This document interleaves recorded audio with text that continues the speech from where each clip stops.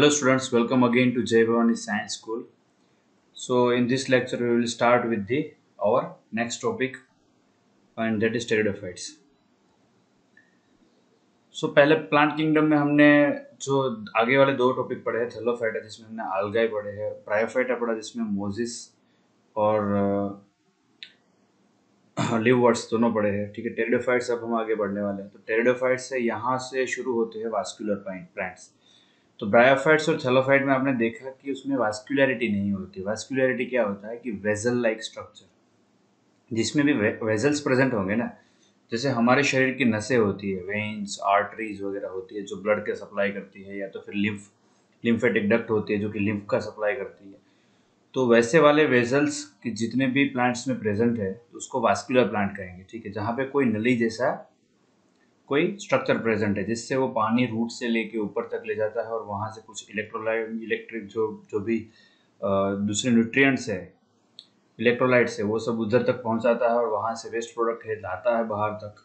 तो ये सब काम जो वेजल्स के थ्रू होता है तो उसमें जो, जिसमें प्रेजेंट होगी, वो सारे वास्कुलर प्लांट कहा जाएगा। तो वास्कुलर प्लांट्स क्या होता है कि they are those plants possessing conducting और vascular tissue xylem and phloem तो ये एक जो एक ट्रांसवर्स सेक्शन दिया हुआ है इसका जैसे एक ट्री है, ठीक है? ट्री में कभी बीच में से अगर काट दो तो उसमें ऐसे वास्कुलर टिश्यूज रहेंगे।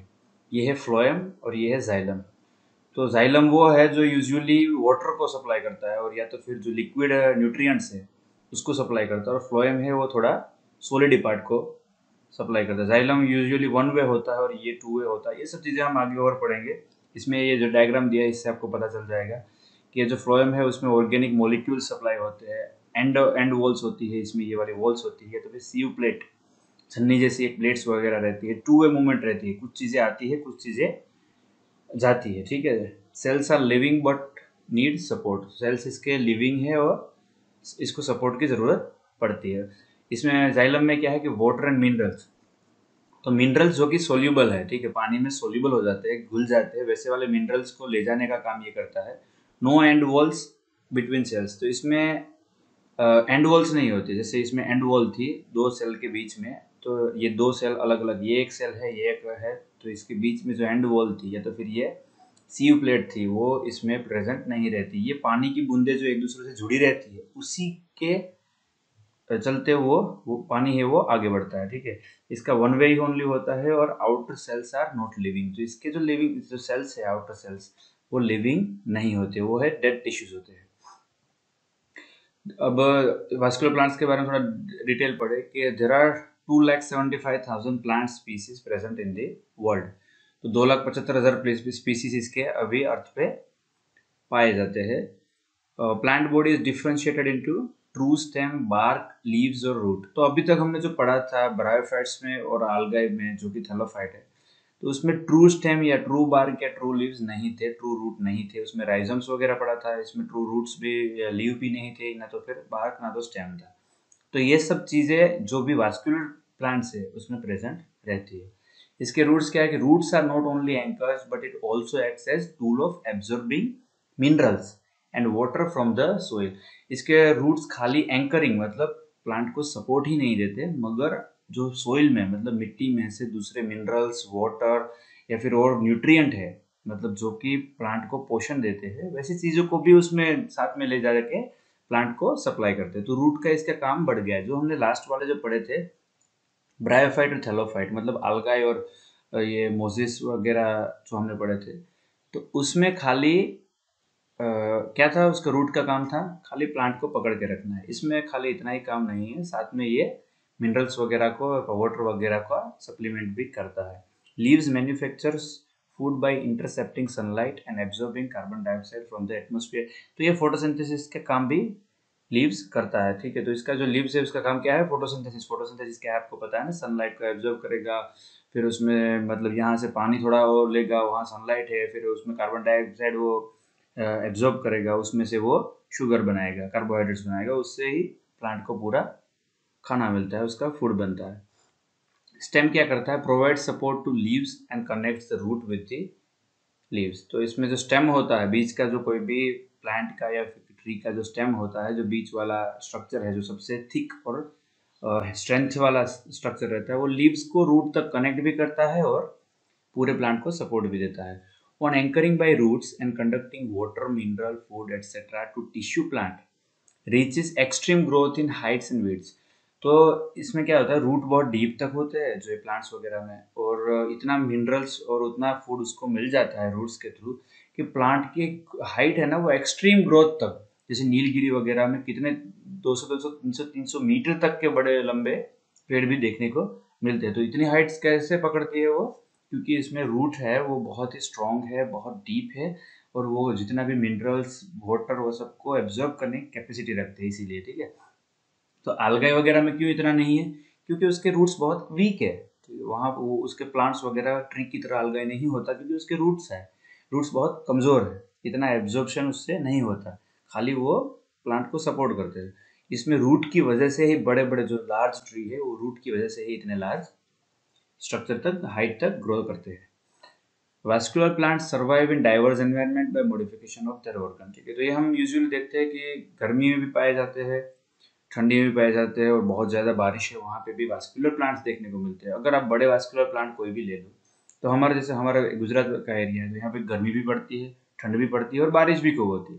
तो ये तीनों जो सीज़न है, उसमें भी अब यहाँ के जो प्लांट्स है, वो अच्छे से सर्वाइव करते हैं, क्योंकि उसमें वास्कुलरिटी है। उसके रूट भी है ट्रू स्टेम है, उसकी बार्क उसके हिसाब से चलती है, उसके लीव्स उसके हिसाब से मॉडिफाई किया जाता है।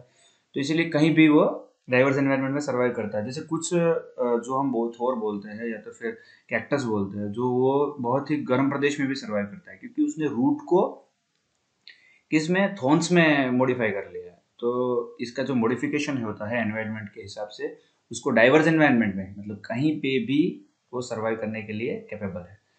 Vascular plants dominates the land तो ये जो वास्कुलर प्लांट्स है, वो डोमिनेट्स द लैंड तो ये लैंड को डोमिनेट कैसे करते हैं? अगर हम पृथ्वी के जितना भी, जितना जो लैंड डोमिनेशन देखे तो सबसे ज़्यादा क्या होता है? सबसे ज़्यादा बड़े ट्रीज होते हैं, ठीक है? जैसे अमेजोन का जंगल ले लो, या फिर हमारे आसपास का गिर जंगल ले लो, या तो फिर कोई और जंगल ले लो तो जंगल में सबसे ज़्यादा डोमिनेशन किसका होता है? बड़े प्लांट्स का, ठीक है? जो ऑक्सीजन का, जो एनवायरनमेंट में ऑक्सीजन का जो की जितनी मात्रा होती है, वो भी कौन करता है? सब मैनेज कौन करता है? बड़े प्लांट्स तो इसीलिए वो लैंड डोमिनेटर्स है।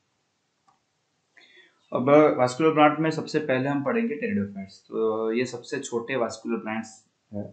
टेरिडोफाइट्स हम पढ़ेंगे। तो ये देख लीजिए, ये है, ये फर्न है यूजुअली ये टेरिडोफाइट का सबसे कॉमन जो प्लांट है, वो है फॉन और ये फॉन्स की फ़ोटो है, आप देख लीजिए। तो pteridophytes include horsetails and ferns तो ये यूजुअली इसके दो हम पढ़ते हैं। ये वाला है हॉर्स टेल ठीक है?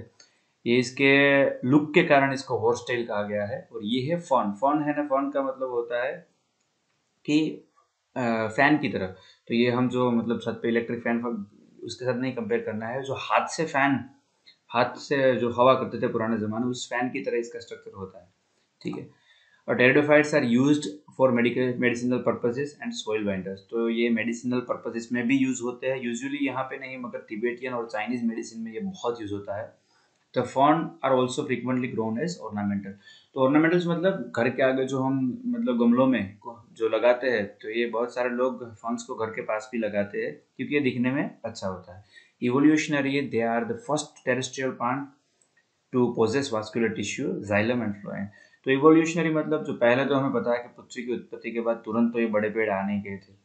तो जैसे जैसे इवोल्यूशन हुआ तो सबसे पहले वास्कुलर टिश्यू पोजेस करने वाले प्लांट है ना, वो कौन से है? फॉन्स जिसमें जाइलम और फ्लोएम देखने को मिला है। अब इसकी जो डिटेल थोड़ी स्टडी है, वो हम इसके जो टिश्यू की डिटेल स्टडी है, वो हम पढ़ेंगे चैप्टर सिक्स में। इसका हैबिटेट क्या है? कि the pteridophytes are found in cool damp shady places तो some may flourish well in the sandy soil conditions तो ये भी जो आलगाई वगैरह जैसा है, इसका भी हैबिटेट है। कि कूल ठंडे प्रदेश में डैम्प मतलब जहाँ पे कीचड़ जैसा होगा शेडी प्लेसेस मतलब जैसे बड़े ट्री है आसपास तो उसके शेड्स मतलब जहाँ पे सनलाइट बहुत कम आती है या तो फिर नॉर्मली आती है, वैसे वाले प्लेसेस में ये देखने को मिलता है। कई बार ये सैंडी सोइल कंडीशंस में भी देखने को सैंडी सोइल मतलब जहाँ पे गीली मिट्टी है और सैंडी है, जहाँ पे रेत वाली गीली मिट्टी है, वहाँ पे भी ये देखने को मिलता है। You may recall that the bryophytes, the dominant phase in the life cycle is the gametophytic plant body. हमने देखा था कि ब्रायोफाइट में डोमिनेंट फ़ेज़ हमने जो सेकेंडरी स्टेज में हम मैंने पढ़ाया था ना आपकी जो ब्रायोफाइट्स में जो डोमिन स्टेज था वो क्या था? गेमेटोफाइटिक प्लांट बॉडी था स्पोरोफाइटिक नहीं ठीक है? तो how in pteridophytes the main plant body is sporophyte तो इसकी तो मेन प्लांट बॉडी क्या है? स्पोरोफाइट तो ये गेमेटोफाइट वाली जो प्लांट बॉडी वाले जो ब्रायोफाइट्स है और ये टेरिडोफाइट्स है। इसमें मेन डिफरेंस ये होती है कि उसमें जो डोमिनेंट फ़ेज़ था, वो था गेमेटिक गेमेटोफाइटिक प्लांट बॉडी था और इसमें जो डोमिनेंट फ़ेज़ है, वो है टेरिडोफाइटिक स्पोरोफाइटिक है टेरिडोफाइट्स में। और ये आगे हम जैसे पढ़ेंगे ना, आपको समझ में आ जाएगा क्यों इसमें स्पोरोफाइटिक है। And which is differentiated into true roots stem and leaves तो इसमें ट्रू रूट ये ट्रू रूट हो गए, या फिर ये ट्रू रूट्स हो गए, ये देखने को मिलते हैं। इसमें स्टेम ये स्टेम स्ट्रक्चर जो पूरा सपोर्ट देता है वो और लीव्स छोटे छोटे लीव्स देख रहे हो, ये सब डिफ्रेंशिएटेड है अलग अलग देखने को मिलते हैं। प्रायफैट्स और आलगाई में ये सब अलग अलग नहीं था। थेलस जैसा ही स्ट्रक्चर था, उसी में से मॉडिफाई होकर लीव बनते, उसी में से स्टेम लाइक स्ट्रक्चर बनता है उसी में से राइजम्स निकलते। These organs possesses well differentiated vascular tissue इसमें खास वेल डिफ्रेंशिएटेड वास्कुलर टिश्यू तो हम कभी भी टेरेडोफाइट्स पढ़े तो एक बात तो हमें खास याद रखनी है कि ये वास्कुलर है।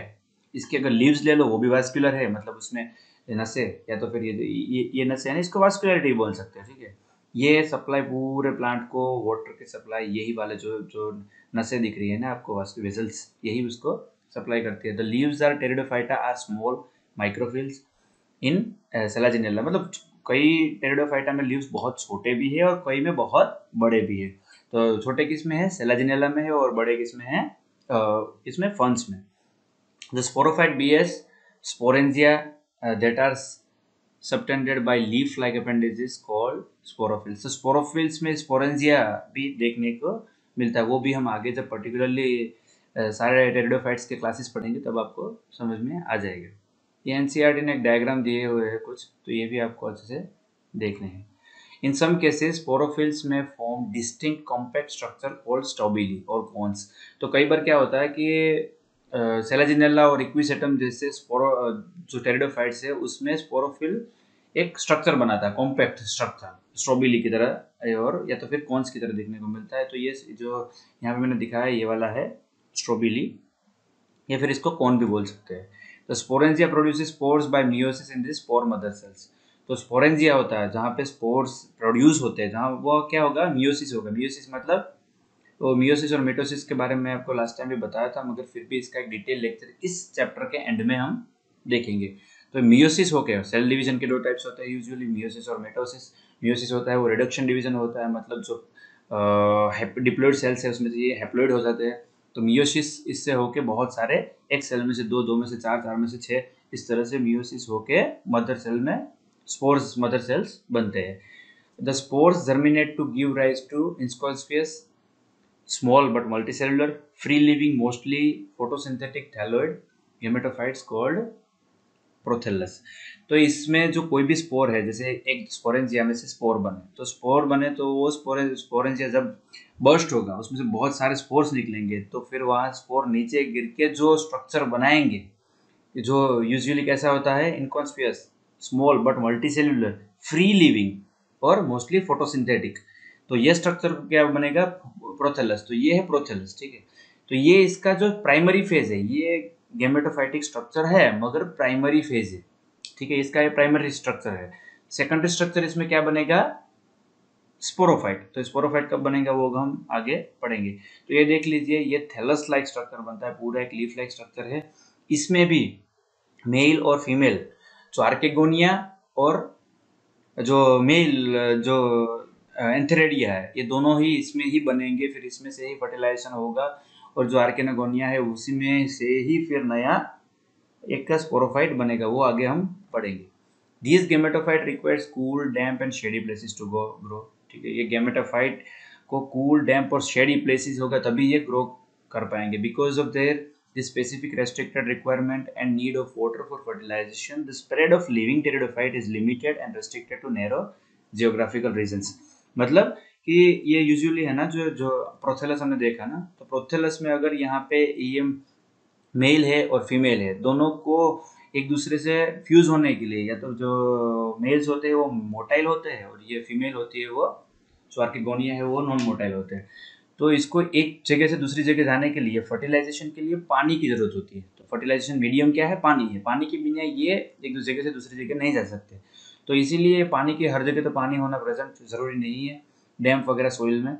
तो इसी के कारण इसका जो फर्टिलाइजेशन है वो बहुत कम मात्रा में होता है। और कम मात्रा में होगा तो इसके साइजेस भी कम रहेंगे। मतलब एक ही जगह पे अलग अलग बहुत सारे टेरिडोफाइट्स नहीं देखने को मिलेंगे, उसकी लिमिट होगी।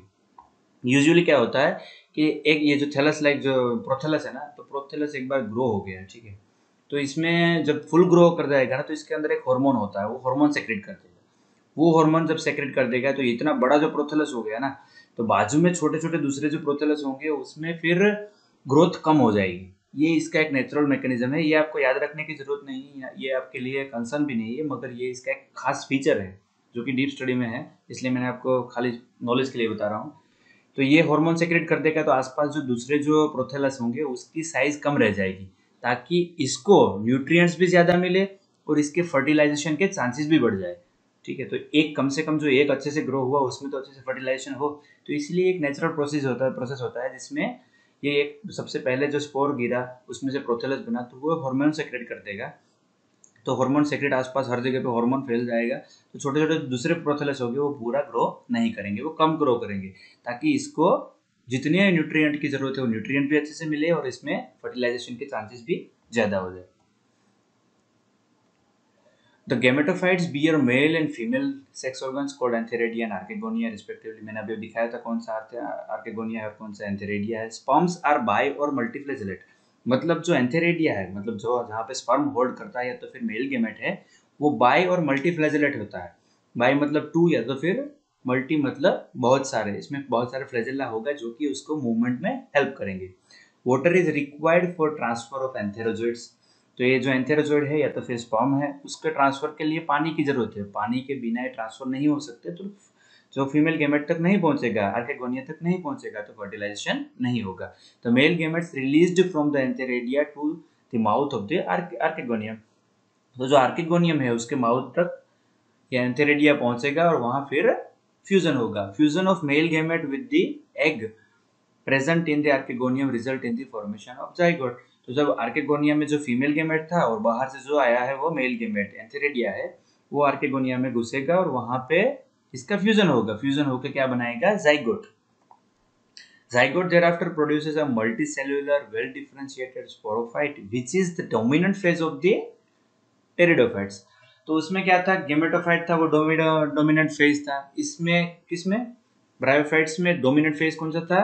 गेमेटोफाइट तो इसमें क्या होगा? जाइगोट बनने के बाद produces a multicellular well differentiated sporophyte which is the dominant phase of the pteridophytes तो इसमें जो मल्टी सेल्यूलर बड़ा स्पोरोफाइट बनेगा ना ये इसका डोमिनेंट फ़ेज़ है in majority of the pteridophytes all the spores are the of similar kind such plants are called as homospores तो यूजुअली टेरिडोफाइट्स में क्या होता है कि स्पोर्स है ना वो सिमिलर साइज़ के होते हैं एक सिमिलर एक ही तरह दिखने वाले होते हैं तो इसको होमोस्पोरस कहेंगे मगर genera like Selaginella and Salvinia इसमें क्या होता है कि टू काइंड ऑफ़ स्पोर्स होते हैं। कुछ बड़े होते हैं मैक्रो एंड कुछ होते हैं माइक्रो छोटे वाले। तो इसको क्या कहेंगे? हेटेरोस्पोरस तो मैक्रो और माइक्रो दोनों में अगर, दोनों टाइप के स्पोर्स अगर एक ही स्पोरेंजिया में निकलते हैं तो उसको हेटेरोस्पोरस कहेंगे। अगर सेम साइज़ के होंगे तो उसको होमोस्पोरस कहेंगे। तो megaspores and microspores germinates and give rise to the female and male gametophyte respectively तो मेगास्पोर्स होते हैं, उसमें से फीमेल गेमेट बनेगा और माइक्रोस्पोर होता है, उसमें से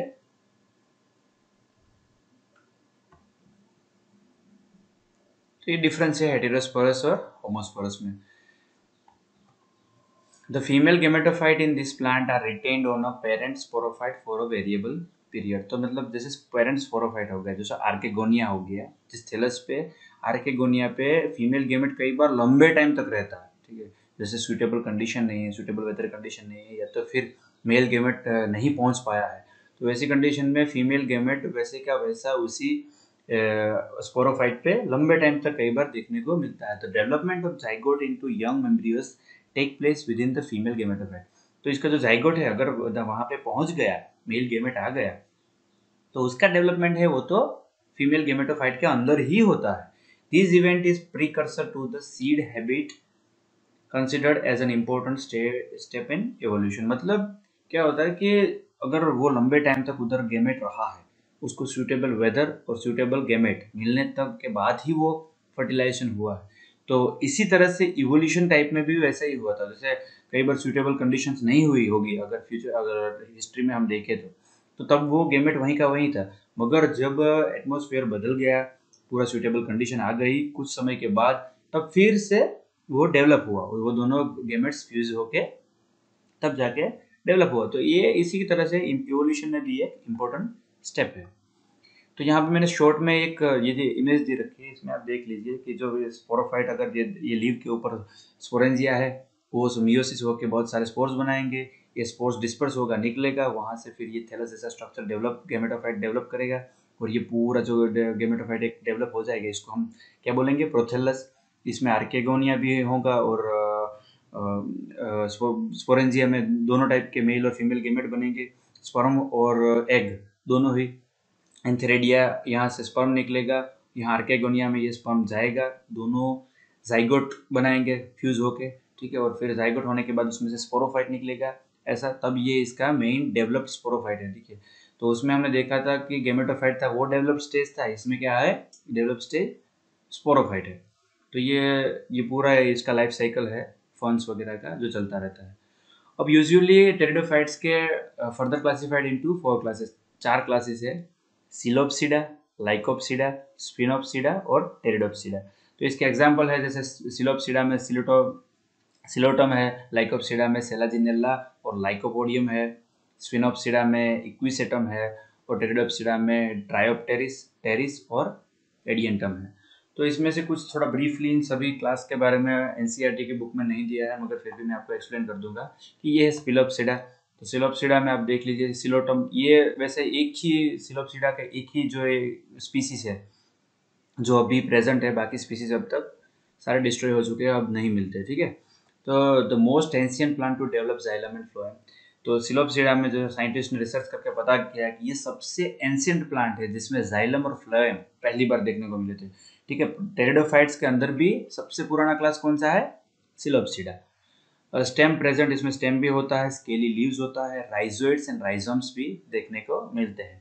Some are branches formed outside the rhizoids some aerial branches formed outside the rhizoids and later on develop this sporangia तो कुछ एरियल ब्रांचेस मतलब जहाँ राइजोइड्स होंगे, इसके नीचे जो रूट्स इसके राइजोइड्स है वहाँ से एरियल्स एरियल ब्रांचेस निकलेंगे, ठीक है? यहाँ से वैसे ही उल्टी ब्रांचेस निकलती है और इसमें स्पोरेंजिया बनता है।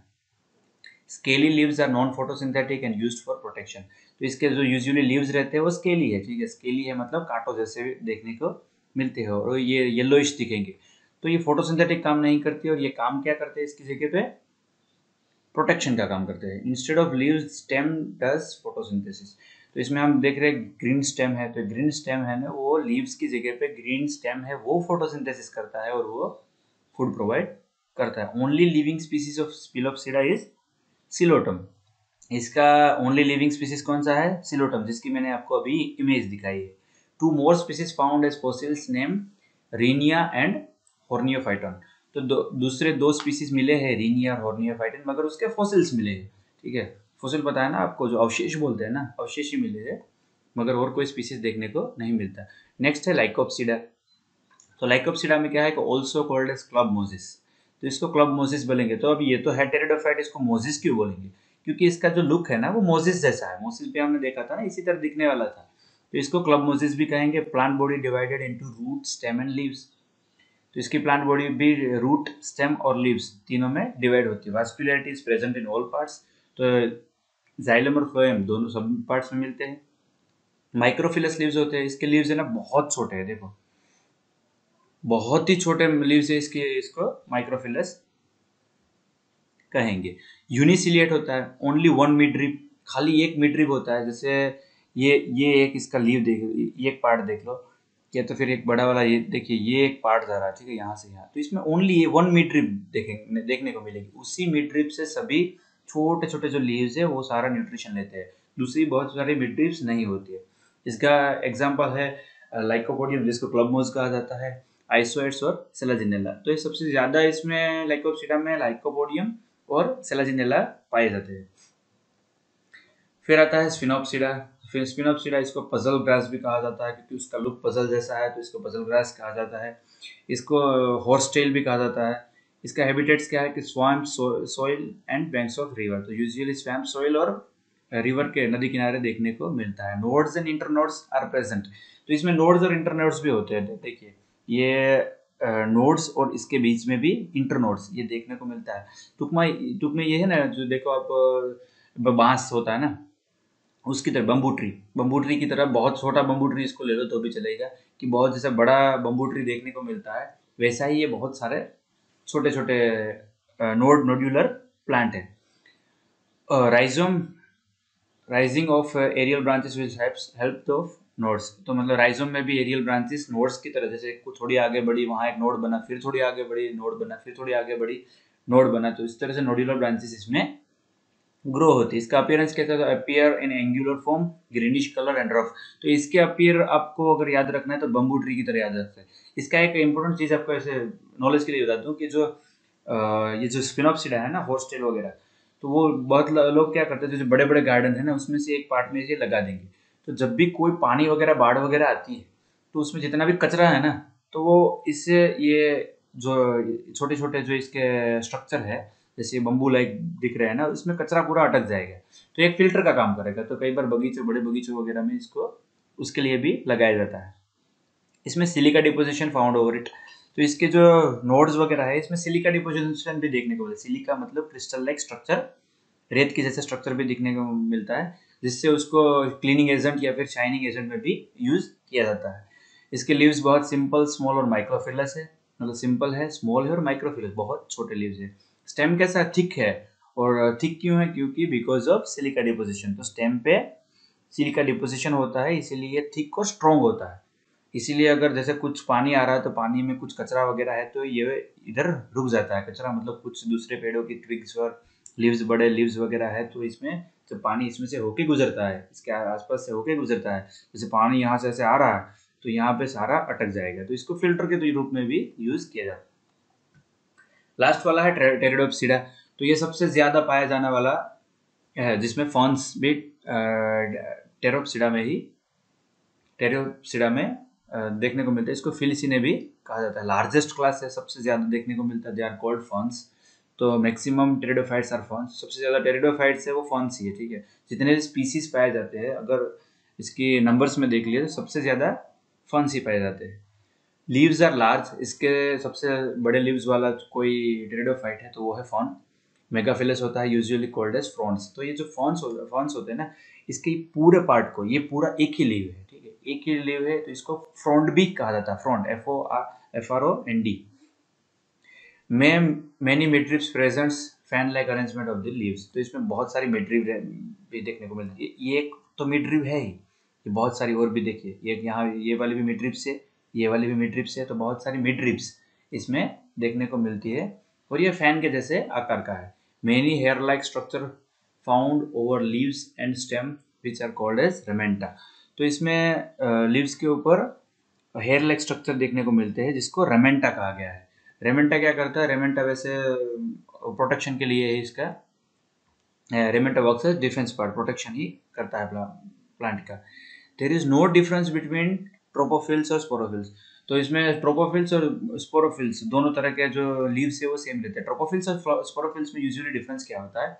कि ट्रोपोफिल्स मतलब जिसमें स्पोर्स नहीं बनते, वैसे वाले लीव्स और स्पोरोफिल्स मतलब जिसमें स्पोर्स बनते हैं, वैसे वाले लीव्स तो ये यूजुअली दूसरे प्लांट्स में, दूसरे सारे जो इसकी तरह दिखने वाले प्लांट्स है, उसमें अलग अलग लीव्स देखने को मिलता है. ट्रोपोफिल वाले जो लीव्स होंगे, जो स्पोर्स नहीं प्रोड्यूस करते, वो उसके संरचना अलग होगी और स्पोरोफिल वाले जो लीव्स है उसकी संरचना अलग होती मगर इसमें कोई भी डिफरेंस देखने को नहीं मिलता। All leaves form sporangia while reproductive phase तो सभी लीव्स में ही स्पोरेंजिया देखने को मिलता है। मतलब ऐसा नहीं कि ये ट्रोपोफिल है, इसमें स्पोरेंजिया नहीं देखने को मिलेगा।